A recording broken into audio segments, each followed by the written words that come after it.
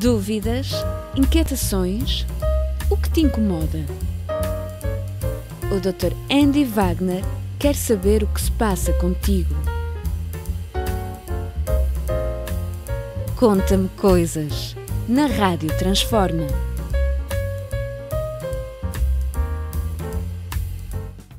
Olá, muito bem-vindos e bem-vindas a mais um Conta-me Coisas, um programa da Rádio Transforma Online. Quem sou eu? Sou Andy Wagner, professor, filósofo, psicanalista, terapeuta. Estamos na nossa série A Tesoura das Asas, não é? Tivemos um primeiro programa fazendo uma rápida recapitulação onde eu tratei com vocês sobre o conceito de amadurecimento. Chegamos à conclusão de que amadurecer não é pôr os pés no chão, mas aprender a voar com destreza. E aí falei da adultez, não é? Que é o amadurecimento que implica pôr os pés no chão. E aí fiz uma alegoria do pássaro, não é? E das asas cortadas e da adultez como uma doença. Está lá no primeiro programa da série, certo? E passei a tratar do amadurecimento a partir da perspectiva do voo, do pássaro, daquele que não acreditou que amadurecer é pôr os pés no chão, sobretudo depois dos primeiros fracassos da juventude, normalmente, e ainda assim é, olhou para cima e foi atrás dos que ele viu sabiam voar com destreza. Então, essa foi a alegoria que eu fiz no primeiro programa, e ainda no primeiro programa tratamos da primeira grande tesoura das asas, aquelas, aquela tesoura que corta as nossas asas e nos transforma em adulto, certo? Lembrando também que eu falei da questão da criança experiente, né? No meu caso, uma criança com 57 anos de experiência de vida, mas nunca um adulto, sempre uma criança, certo? Ou seja, é a, o impedimento do corte das asas, certo? Pronto. Então, fiz uma série de alegorias e tratamos do. Estou sendo repetitivo, acho é, do primeiro, da primeira tesoura. A primeira tesoura era o olho alheio, ou seja, a entrega às expectativas alheias. Pronto. Aí fomos à segunda tesoura das asas. Foi, do programa passado, os papéis de gênero. E vamos hoje à terceira tesoura das asas, então, o valor dos saberes. O que é que é isso? E por que isso corta as minhas asas? Para essa tesoura, eu vou dar dois exemplos inteiramente pessoais. Já aconteceu comigo, né? Muito bem. O que quer dizer o que quer dizer o valor dos conhecimentos? Nos ensinam desde muito pequeninos que determinados conhecimentos valem mais do que outros. E nós acreditamos nisso. E a grande maioria das pessoas adultas acredita nisso.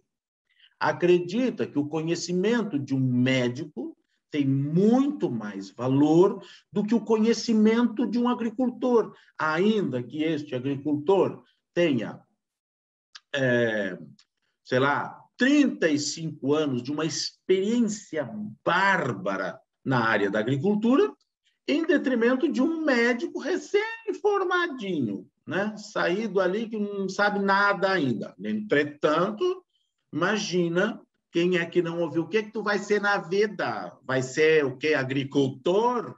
Alguma coisa nesse sentido, né? Ou seja, colocando determinadas profissões com um valor muito inferior a outras profissões, mesmo aquelas como uh, profissões uh, bem mais.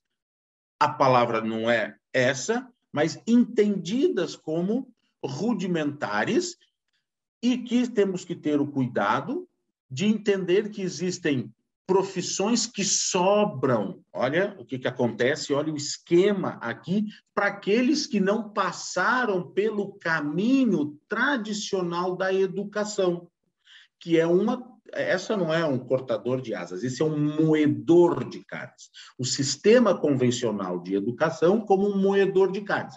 Normalmente vocês irão ouvir das pessoas que voaram alto, ouvirão alguma coisa parecida com esta frase: sou um sobrevivente do sistema convencional de educação. Sobrevivi apesar da escola e deste sistema, eu cheguei onde quis considerando que é, este sistema é, pode funcionar. E vou dar os meus exemplos. Né? Por exemplo, na escola, eu sempre era um excelente aluno, um excelente aluno nas áreas de história, geografia, português, é, filosofia, sociologia, etc. Mas nas áreas de matemática, química, física, biologia, enfim, essas áreas, eu sempre fui um aluno, ui, só passava arranhando. E um dia minha mãe foi chamada à escola porque eu só era um aluno que me interessava pelas disciplinas, olha a palavrinha, secundárias. Considerando que o meu sonho, e foi o que fiz, foi ir para a faculdade de História e, juntamente com isso, tornar-me maestro de orquestra. Para que serviu-me a escola convencional? Para isso, onde eu só era feliz em algumas poucas horas da semana, onde se tinha uma aula de História, uma aulinha de Geografia, duas aulas de Português, e o resto não era para uma pessoa como eu. Não é? Engraçado que alguém como eu, suficiente essas aulinhas. Agora, para quem vai ser engenheiro, advogado, ou sei lá, ou qualquer um médico, ou sei lá o quê, aí tem que ter todas aquelas, não é? Supondo que nós temos um sistema que faz com que nós, sejamos enfiados num funil daquilo que o sistema econômico necessita, né? determinadas profissões.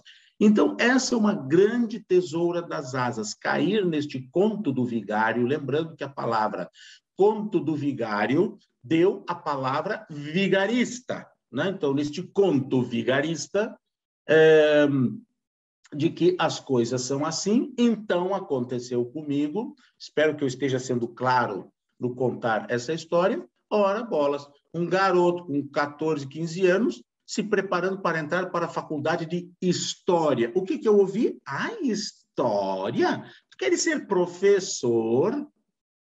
E pior ainda, e além de tudo, músico. Músico! Ai, credo! Essa foi, não é? Tendo me tornado depois, obviamente, um maestro de significativa projeção, né? Menos mal. Pronto. Mas vivi essa, né, é, tive que ir contra essa tesoura que queria me cortar as asas, né, e que tem aqui, se imbrica com uma outra, que nós vamos ver no próximo programa, outra tesoura, que é quando nós é, é, é, teimamos, por exemplo, eu poderia ter teimado em ir fazer faculdade de História e tornar-me maestro e ter me tornado um maestro medíocre, né? ou um professorzinho medíocre. Por quê? Porque o meu inconsciente tinha como programa que essas duas profissões não funcionam e só são para algumas raras exceções. Se eu tivesse caído também neste outro conto do vigário, que é a próxima tesoura das asas, eu teria talvez sido um maestrinho bem é, medíocrezinho e estaria olhando lá como é que aqueles lá conseguiram. É, porque é só para alguns. Pronto, já que praticamente tem todo o spoiler no próximo programa aí, que coisa horrorosa, pronto.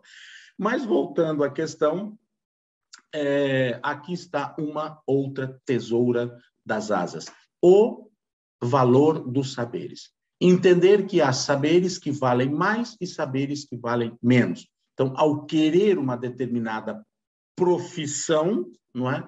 Eu não opto por aquela profissão, é, até porque muitas delas são vistas como profissões menores, são vistas como profissões é, enfim, independentemente do amor que eu tenho por aquela atividade, então eu abro mão disso e vou buscar uma outra profissão e aí pronto. Imagina o jovem que quer ser alpinista o outro que quer ser sei lá músico artista filósofo escritor quer dizer aquele tipo de profissão que não move o sistema né é, que nós temos hoje vigente, mas isso é só uma farsa, porque, obviamente, qualquer pessoa tem mecanismos para romper este paradigma, como eu fiz, como muitos outros o fazem. Pronto, muito bem, eu acho que aqui encerramos essa questão dessa tesoura das asas, né? Pronto, não caiam nessa. E se caíram, dá para voltar para trás né? dá para voltar para trás. Pronto. Dito isso. Ai, desculpa-me, ando com a garganta meio seca. Ah, dito isso, então vamos lá a uma coisa. Olha o focinho que apareceu. Olha quem está aqui. Olha aqui. Olha lá. Olha aqui. Olha aqui. Olha aqui. Essa menina é uma coisa séria. É uma carência. Uma carência. Fica aqui o tempo todo pedindo miminhos porque não estou dando atenção para ela. Olha só que coisa. Pronto. Claro, vocês devem saber que eu estou na minha casa. De vez em quando eu me esqueço de dizer, estou na minha casa. Não é? estou aqui sentado à mesa de jantar não é? Na sala, eu tenho aqui uma mesa ao lado com essa plantinha linda. Pronto? Então é isso. Vamos lá, as três questões de sempre. Então, lá, olha aqui meu dedo cortado, olha, eu cortei o dedo cozinhando esse fim de semana, dá para acreditar? Pronto. E aqui, aliás, a faca passou assim no meu dedo, ela passou desse jeito, zoom, cortou dois dedos de uma vez de uma vez só. Ai, vamos, vamos ao que interessa, né, gente? Pelo amor de Deus. Então, vou com essa mão agora para não mostrar o dedo cortado. gente, então vamos lá. Programa, não, programa não. Rádio Transforma e Andy Wagner. Likes, gostos, etc. E subscrições e inscrições nas três é, redes, não é? Facebook, Instagram, YouTube. De novo, Rádio Transforma, Andy Wagner. Aham, uhum, aham, uhum. e aquela. Tá bem? E além do mais, o meu e-mail, que agora mudou, já faz algum tempo que mudou. info arroba e o meu site? Visitem o meu site. Simplesmente Andy Wagner. Né? E aquilo que um site, o endereço do site precisa ter, o www.antes, né? Andy Wagner e o .pt depois. Então, andywagner.pt. Muito bem, hoje ficamos por aqui. Um grande beijo, um grande abraço a todos e a todas. Até o próximo programa, com o spoiler já dado no programa de hoje. Muito bem. Até mais. Tchau, tchau. Dúvidas? Inquietações? O que te incomoda? O Dr. Andy Wagner quer saber o que se passa contigo. Conta-me coisas na Rádio Transforma.